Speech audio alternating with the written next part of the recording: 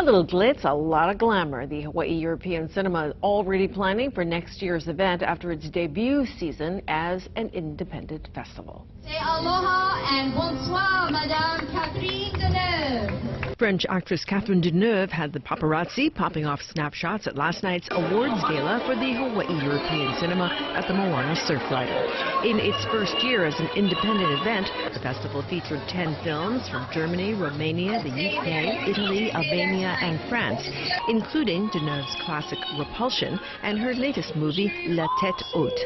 And Catherine Deneuve is the most extraordinary actress, 121 films as a lead in all her lifetime and she's still working two, three films a year is extraordinary for us. I'm very proud to see that uh, there is a European Film Festival in Hawaii because it's so far from Hawaii, you know, Europe. So I'm very proud and I'm pleased to be here tonight. And uh, I don't know, I would have tried to, I would like to give a message of, uh, of hope for everything, for everybody. And aloha. Aloha, yes.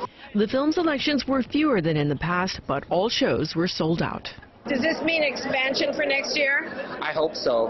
I, the reaction and the appreciation has been so amazing that we hope to do that bigger and better next year, definitely. For its work in supporting student filmmakers in Hawaii, the festival last night received a grant from the Hollywood Foreign Press, the sponsoring organization of the Golden Globe Awards.